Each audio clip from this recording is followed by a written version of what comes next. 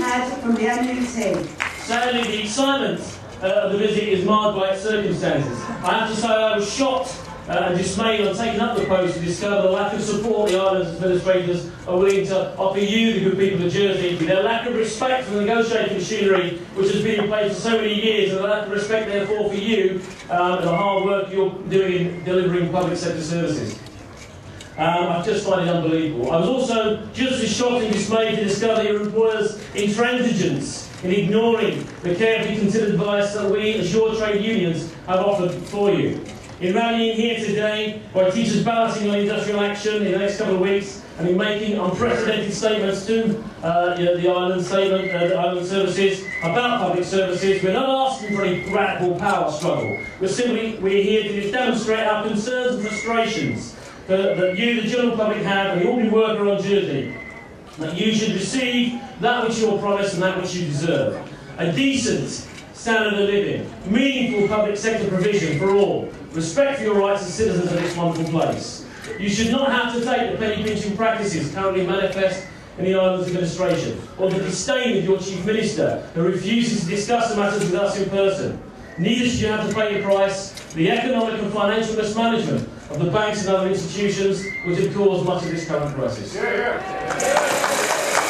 Today's rally is about protecting your rights, your pay, your services and your families. I'm honoured to share this platform with all our sister unions today. Um, today is about unity and it's about respect. The State of Jersey has shown them our strength and depth of feeling today and everything that we hold dear. It's fantastic to be here. Pick up your placards, wave your flags, blow your whistles, rattle your rattles. Let's have a great afternoon. Cheers. Thank you.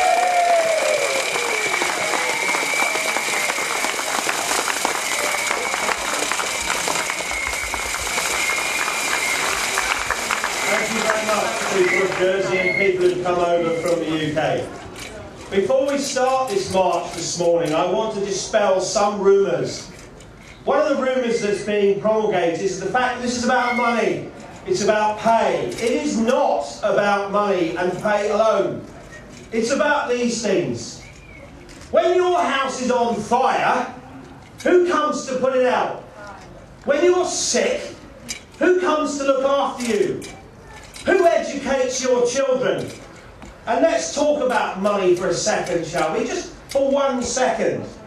Corporation tax on the banks in this island has been reduced by 10%. If you come in as a foreign employer, you pay no corporation tax. 80 million pound hole.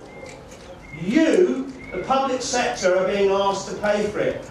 Public services are being asked to pay for it. I'd like to mention two names of two men one of them is James Shears, 35 years old. Alan Bannon, 38 years old, died in a fire rescuing people from a block of flats in Southampton. That's what it's about.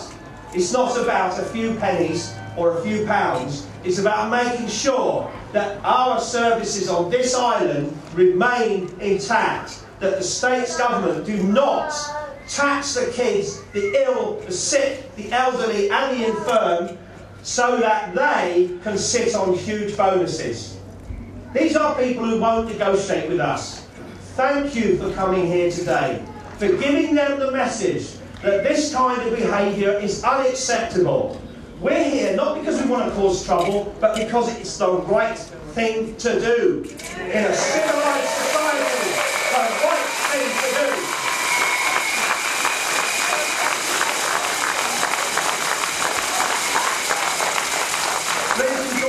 This afternoon and thank you so much for supporting each other in this vital struggle.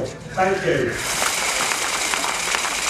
Thank you for our speakers there this morning. We're going to do our absolute best to make sure that every single member of the public in Jersey knows what's